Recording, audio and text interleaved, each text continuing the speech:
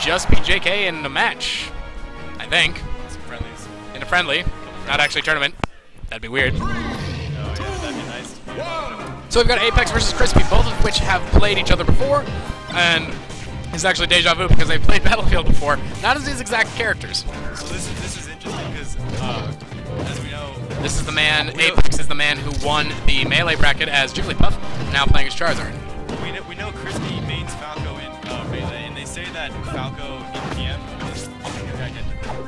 They, Nearly they, identical. They didn't buff him, they didn't nerf they kept him the same. So it's So they kept them the same as in Melee, or they kept them the same as in Brawl? They kept him the same in melee. So Okay. This, this is this is good for Crispy because he can just transfer his mains. That's very true, and it looks like um, he's doing a lot of work on Charizard, who, as I've seen in the past with Apex, hasn't really done a lot.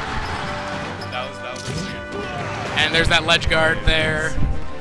Also, before the match, Apex, who should scoot over to more some more to his left, um, actually, sorry, that's just camera angles. Actually, told me um, he didn't want to be on the big screen because he didn't want to have commentary on him, which I laugh get at. it, I get it. I only commentate as to what's on screen. Ladies and gentlemen, I, if something's not on screen or if I can't speculate something, then I will not say it. That's kind of how conversation goes, also. This is neck and neck. It really is. Hit for hit. These char- these people can I keep trying to call them characters. They're people. These people um, cannot let their characters um, gain a or let the other one gain the upper hand. No, it, it is hit hit. And there's that hit for hit taking place with the combo, which I don't know how Charizard can pull that off a double combo in mid-air. Is that just how Project M is, or Charizard can, uh, if, if he's on the ground and he hits down and he uses his down B, it's a super jump. Which Ah. is, really good I see? So that he used super jump and then his up was also the same thing. Okay. Yes. It looked like the same move twice, but now I understand. See, this is why I need to know the games I commentate. Exactly. No, Charizard, if you watch, he's got a great neutral edge. Especially, it does, it's this, it's the Almost done. And also, gotta watch out for his jab, and since Falcon's fastball, uh, Yeah. Apex will probably get three or four jabs in, like, even DI. Yeah. By the way, um, the names, uh, while they are on the screen for the characters, they are usually supposed to be accumulated for the camera. So, it, you did no, you did get that right though, because that's just the way they set it up. Um, even though we can see half of Apex's face. Here we have, here's the Falco pillar. Nope, we are not seeing the Oh, Falco no. pillar. We're not going to see the Falco pillar. Charizard's not going to let that happen. Charizard's gotta watch out, he's so big. He is. He's a he has a rather large There's hitbox. a lot of him No, there's not. But he does have a large. Ooh! Getting that smash. I was gonna say he does have a large variety of moves on which to hit, and the hitbox for those moves are probably pretty high. Um, He's just got it. one of the advantages of being a big player is you have big hitboxes for all of your hits. Charizard just stays. It's- They're screaming Pokemon. He needs to get out of the way underneath Falco. That's very true. Falco down there. Falco's down air is pretty devastating. Oh, and the counter reverse. Wow.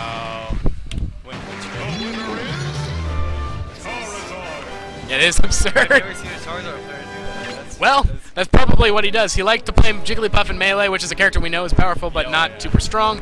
And he's playing as Charizard, who, again, a character we know not, not a lot of people play as, but is pretty strong.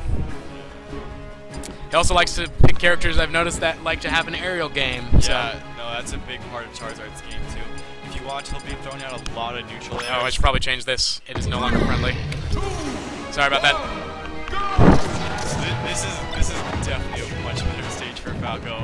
Falco's- Charizard being so aerial.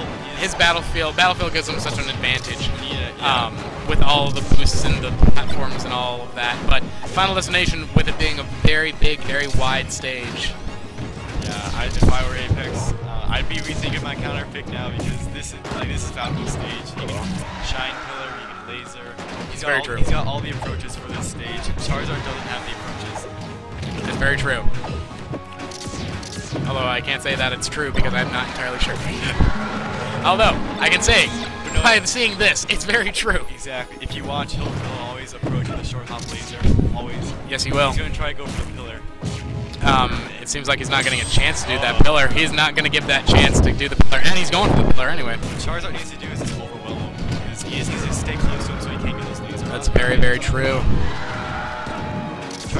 Those, laser, those lasers are going to be what kills Charizard in the end. Yep. Ooh, nice hit. good back. Charlo's back is one of his best moves. Is it really? Yes. Is it? It's a nice heavy smash. It's just, I mean, you can compare it to Sheik's or any of them. It's just when you, when you hit the sweet spot, you hit the end of the tail, just not crazy. Oh yeah, I see that. That's insane. That just shows it, the animation that they decided to use that with shows the amount of sheer power that that move should have. It wouldn't. It wouldn't make much sense if they just go or if they go flying, but then all you see is just like a.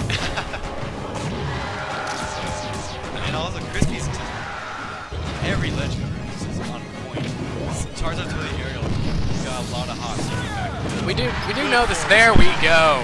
He's got to And that was that was at 67%, was it not? And so any percentage that uh, that Apex Ooh, we're getting a little bit of lag here on the home front, so you can actually watch here if you want to see what's going on. Um, is any percentage that uh, It seems to be what's going on. I think this is a fractal state. Yep.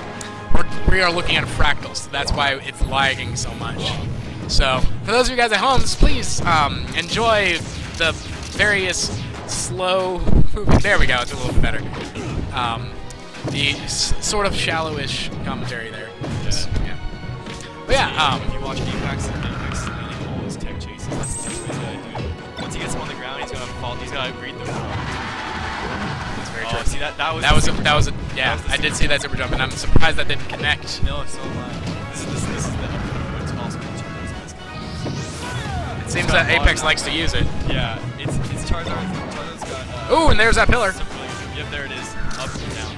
Up, Up, down, up, down, up, down. Up, down, or up, up, down, down, left, right, left, right, BA stars. This is not gonna- Oh, oh, oh, oh, do we, oh, and it's a double kill. It is a final even footing. Both of these players have been going hit to hit, and we are going to see it happen once again. So what happened there was uh, Falco's uh, aerial side B. If it connects, it will. Um, it's a spike. It'll spike people down. Spikes them right down. And uh, Charizard also hit someone, hit him down too. So they were just, they were both in a losing battle with gravity. Every hit right now is just back and. These guys, like, they're staying within 30% each time, each match. Yes, they are. And Which makes it a little bit more terrifying, especially with Falco. And while he does have that pillar advantage, he also doesn't have the advantage of being able to smack people off at 70% damage, which Exactly. Charizard does. Charizard can kill lower percentages. He's just gotta play in the sweet spots. Right. And see he's oh, doing- yep, oh, oh! Did we see? Oh. Well, Crispy's got it. Crispy has got it. Oh, wow. Yes, they are. And it's going to be interesting to see what um, Apex chooses for his final stage, considering that he does get the pick. So Um, Apex is sticking with Charizard. Yes, he he's is. Gonna want a, he's gonna want a smaller stage for sure. And Um, if I was him, I would definitely go with something. Um, well, he did kill. He just killed Delfino Plaza. But here we go. That was my second pick. Perfect. This is my second pick. This is what, this is what Charizard needs. He's, he can stay close. Close he combat. Get him with the jab. The down tilt covers practically half the bottom stage. This is a much better stage for Charizard. This is. It's um. It's Yeah, like I was going. falling up airs.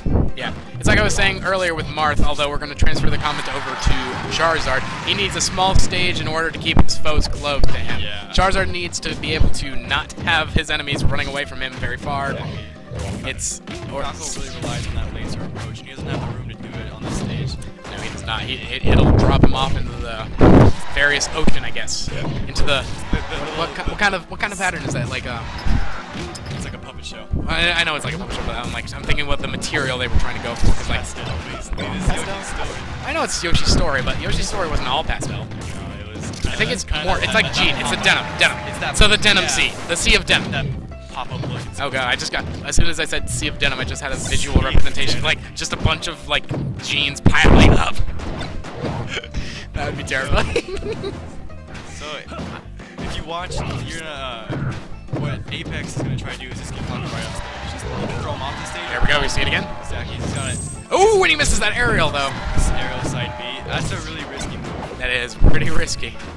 Um, but it looks like he does have he does have a lot of movement room for um, how far he's gotten. Charizard does have a flying recovery. move, Yeah. Good forward air. Yeah. He, can- he's got a glide.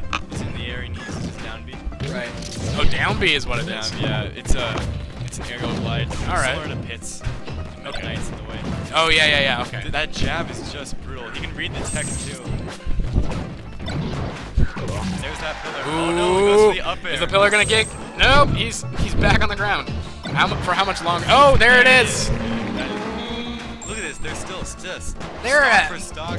These guys are the epitome of rivals. Yeah. Oh. I, I would not be surprised if these two want to come back and smash each other. The next um, Smash Brothers at WSU, whatever we're gonna call that one.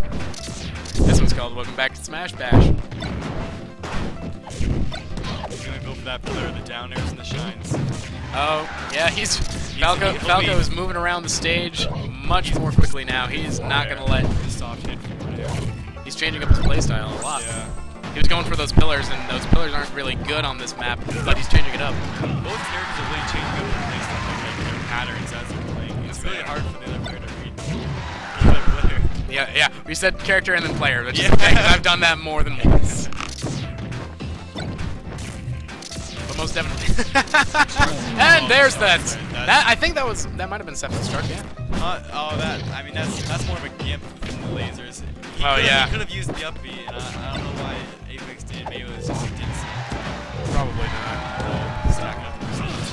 There we go. Oh, that is da- this is a dangerous place to be. Oh, makes the side B recovery. Oh. And gets that nice earth. Oh, and smashes it. Apex takes it.